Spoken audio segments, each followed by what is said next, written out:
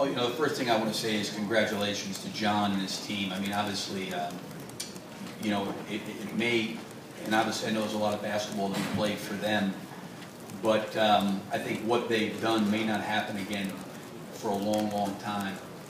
Um, so I think that um, for people that have covered their team, um, I think it's really important that people at least reflect in, in a real positive way of, of what they've accomplished, um, you know, this season.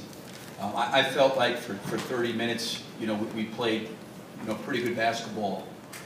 Um, you know, I didn't think we got dominated on the backboard. Um, you know, I thought we had really, really good offensive possessions.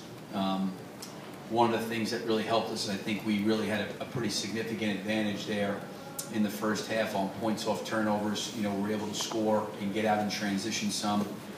Um, and then I think at the the 10 minute point, I think to your point, Jerry, I thought, you know, their offensive rebounding started to uh, affect us some. Um, I think the last 22 minutes of the game, you know, of our turnovers of 17, I think we had 12 of, of our uh, 17 turnovers in the, in, the, in the last 22 minutes. And I thought the turnovers hurt us I thought we got down the lane with our guards and um, we, we, made some, some poor decisions that you know enabled them to kind of maybe get out on the break. Um, I thought the reason the game was close, at least for a good portion of the game, was you know we didn't get crushed by the three-point line and we didn't get killed on the backboard. We kind of our three-point shooting maybe kept us close and them not making and taking a lot of threes also helped too. And then I also thought in the first half we did a good job on their front court guys doubling them from different areas of the floor.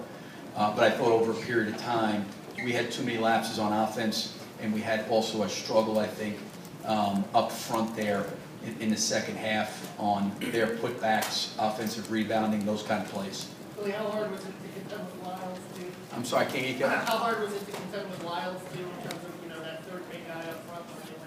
yeah, you know, it was um, it, wasn't bad for us. I was much much more concerned about them posting him. You know, I felt like going into the game we needed to play small because if we would have gone big and we, we worked on a little bit of that in practice, um, I, I just wanted to have him make make him guard one of our guards and, and have to run around at six foot ten.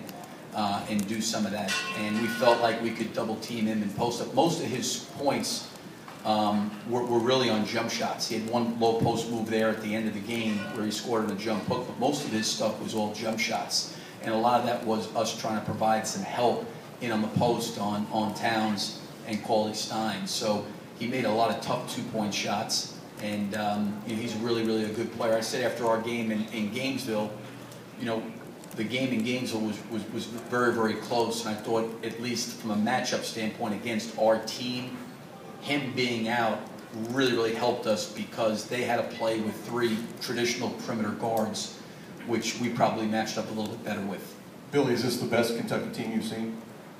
You know, I'd let John comment, you know, about that. I mean, it's it's hard. I mean, I've, I've obviously competed against a lot of really good teams. Um, it's hard to say if they're the best. I mean, the, I think the team that won the national championship with Anthony Davis, people will compare them to that team, but I don't think there's anybody on this team in, in Anthony Davis's league, in my opinion. They've got outstanding talent and they're really good players, don't get me wrong.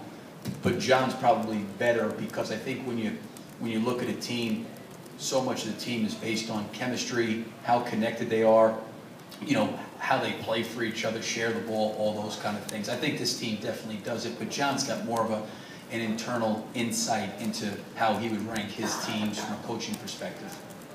Billy, scoring-wise, is that about what you like from uh, from Kasey every game?